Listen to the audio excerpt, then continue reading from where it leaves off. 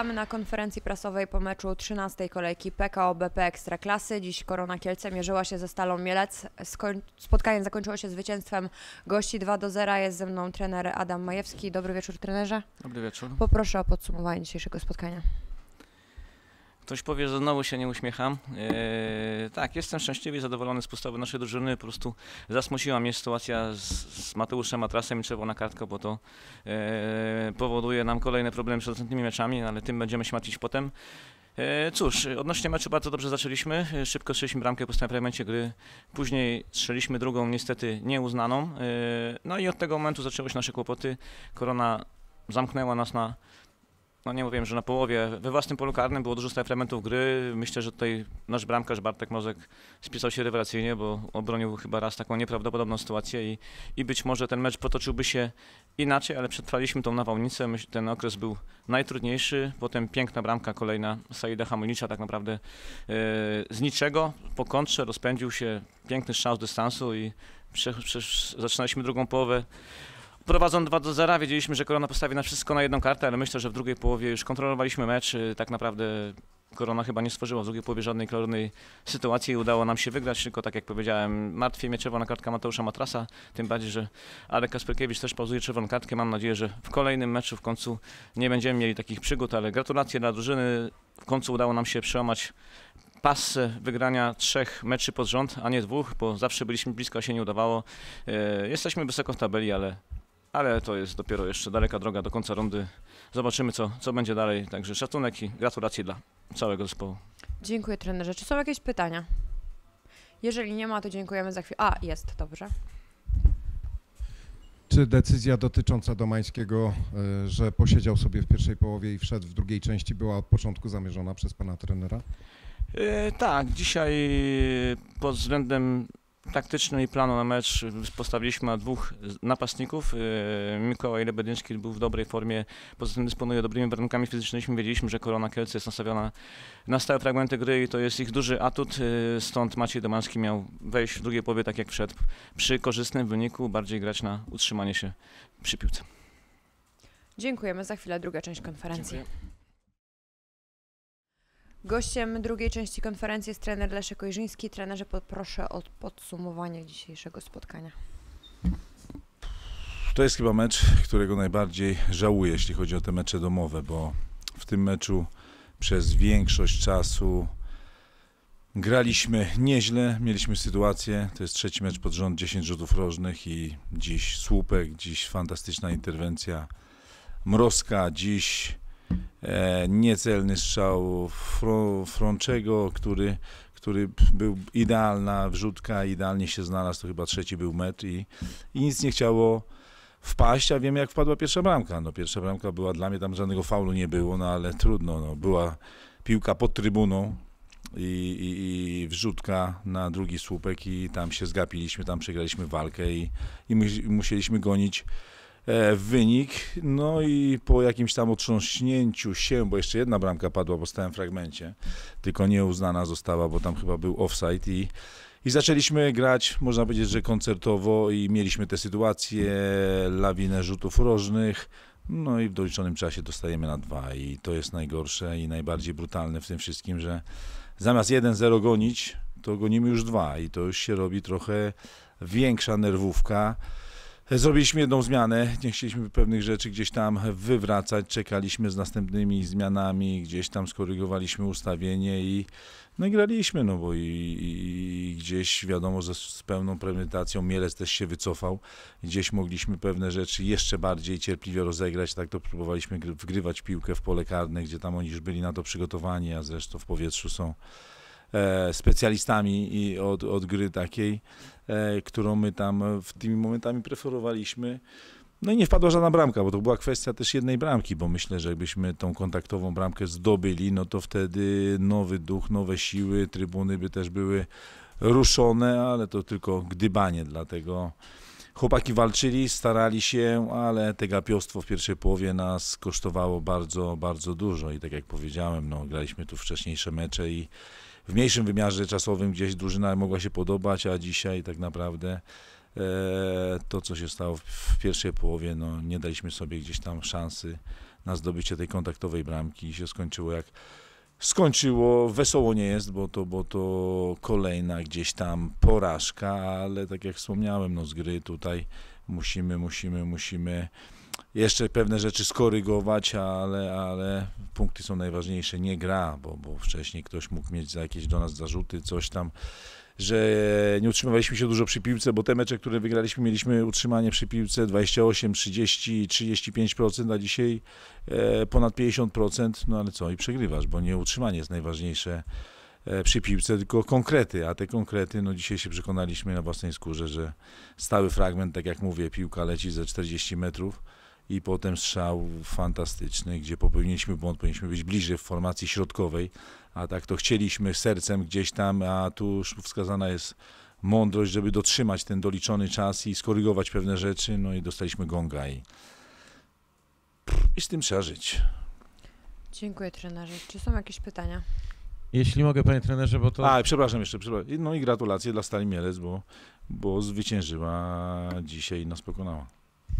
Panie trenerze, to wydaje się nawet bez znaczenia, czy, czy Korona ma 55% czy 28%, bo tak jak pan powiedział, brakuje konkretów, a z drugiej strony znowu możemy powiedzieć, że mieliśmy kilkadziesiąt minut czy kilkanaście, obojętnie kto będzie to oceniał, ładnej gry, ale jak dobrze wiemy, to nie łyżwiarstwo figurowe. Tutaj nie ma ocen za styl, tylko za konkrety, a konkret jest taki, że Korona przegrała czwarty mecz z rzędu przed własną publicznością i siódmy w tym sezonie. Jeżeli chodzi o cztery przed własną publicznością z rzędu, to chyba po raz pierwszy w historii.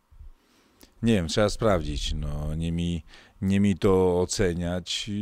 Ja to przyjmuję na klatę. Jestem za to odpowiedzialny. Od tego nie uciekam i tyle w temacie.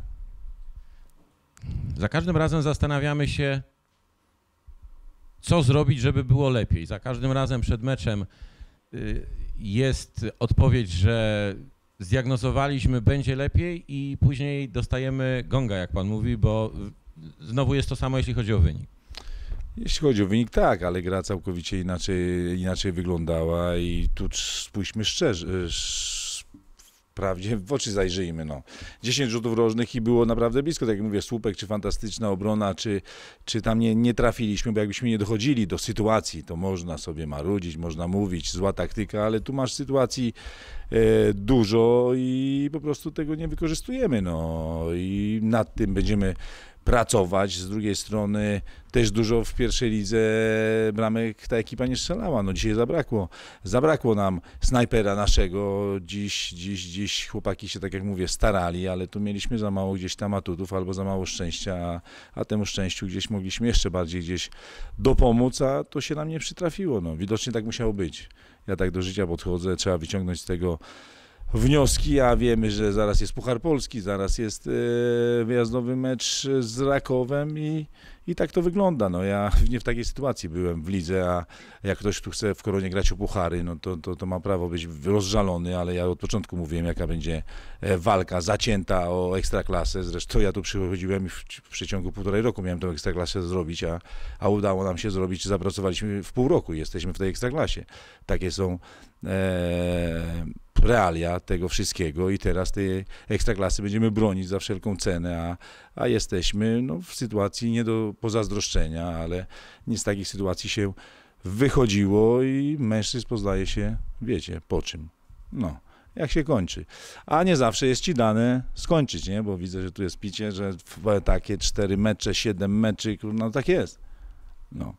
E, budżet, nie wiem, czy mamy taki na, na czub, czy nie wiadomo jak. No z pokorą trzeba do tego podchodzić i są drużyny, które, które, które są nad nami, a, a, a, a gdzieś też mają większe marzenia. No tak to jest sport i, i tak to wygląda, a my gdzieś tam, gdzieś tam, gdzieś tam dryfujemy w tej dolnej części tabeli i wszystko będziemy robić, tak jak mówię, trzeba mieć charakter, trzeba nigdy się nie poddawać, chyba, chyba że ktoś chce się poddawać, ale na pewno nie ja i jest szansa, to zawsze tą szansę trzeba gonić i wykorzystywać, a, a, a, a, a co będzie, no to nie, nie odpowiem na to pytanie.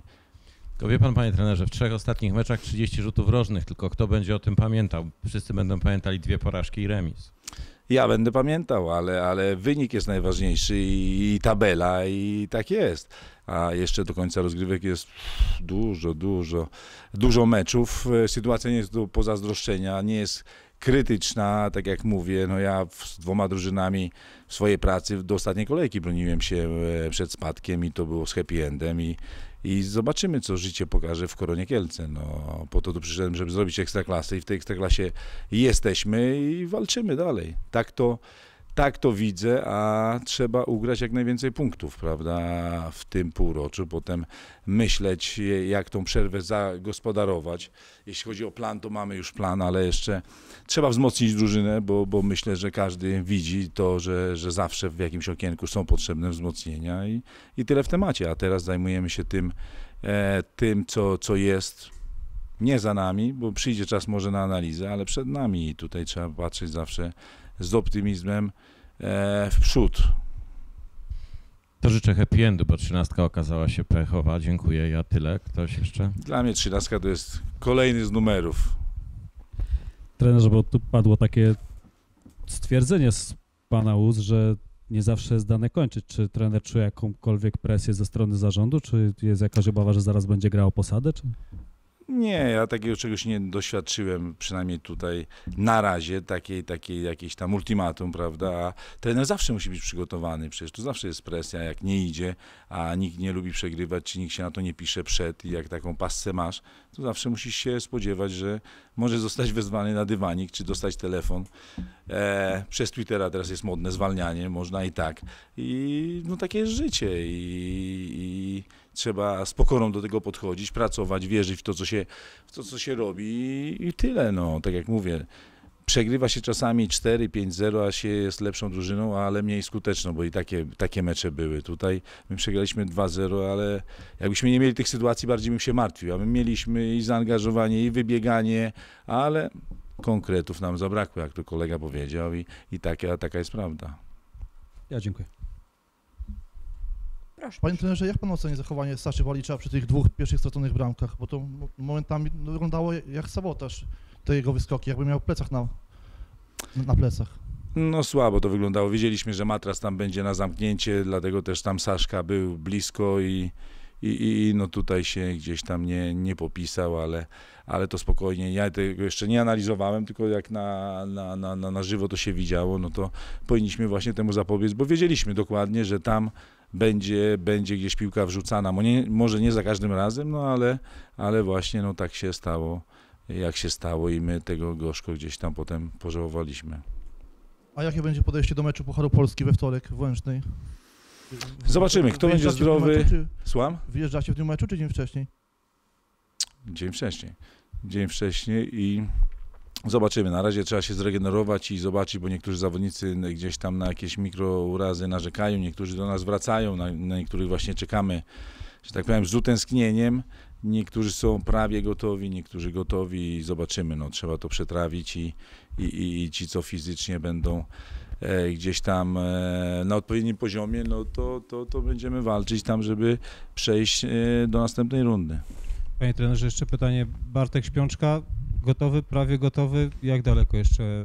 Bo widać, że to jest piłkarz, którego no zdecydowanie brakuje, biorąc pod uwagę szczególnie to, że no cały czas centymetrów brakuje do tego, żeby bramkę strzelić. No nie tylko centymetrów, też ma inne walory, ale, ale, ale wiemy, że ta gra w powietrzu jest i 30 rzutów rożnych na pewno by tam doszedł. Tak jak Frączak wszedł i doszedł do, do, do dwóch, ale, ale nie trafił, a Śpiączka myślę, żeby doszedł do ośmiu na przykład, ale czy by trafił, to takie gdybanie. No. E, wraca do żywych i mam nadzieję, że już na mecz z Rakowem e, będzie do naszej dyspozycji, ale to samo mówiłem tydzień wcześniej i, i tak, takie są właśnie realia. Ja Czyli może tylko dodam, przepraszam, dodam zostawiamy trenera, e, znaczy się e, Bartosza na Puchar Polski. Słucham? Zostawiamy go w domu na mecz pucharu, pucharowy. Myślę, że to by było za szybko, żeby go tam eksploatować, ale zobaczymy. No, w poniedziałek decyzję podejmiemy. Wiemy, że poprzedniego klub to Górnik Łęczna i też by pewnie chciał tam się pokazać z jak najlepszej strony. No czas pokaże. Dodam tylko, że briefing przed meczem z Łęczną w poniedziałek, godzina 14, zapraszamy. Jeszcze jakieś pytania do trenera? Nie ma? Dziękujemy bardzo. Dziękuję. Do widzenia.